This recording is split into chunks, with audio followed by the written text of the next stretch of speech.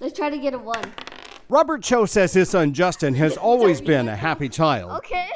so he never gave it much thought when Justin would laugh, even though at times for no apparent reason. Ever since he was an infant, he would giggle every now and then, and it would be very short lived, anywhere from about two to five seconds. But after Justin suffered a classic epileptic seizure at home, hospital tests revealed that this laugh was the symptom of a serious problem. These are episodes out of the blue where a child may laugh, but it's really a seizure. Known as gelastic epilepsy, the seizures are caused by a benign mass or lesion deep inside the brain. In the past, curing it meant open brain surgery that carries high risks and requires a long recovery. But at UCLA, surgeons take another approach. Here, they make a tiny incision in the skull, and using sophisticated GPS like mapping, they insert a tiny laser fiber directly into the problem area. And we essentially cook it with thermal energy.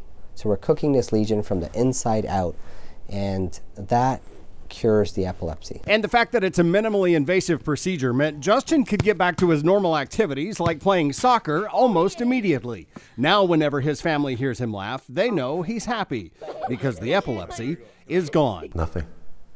Zero. No gelastic seizure. Um, no full on seizure.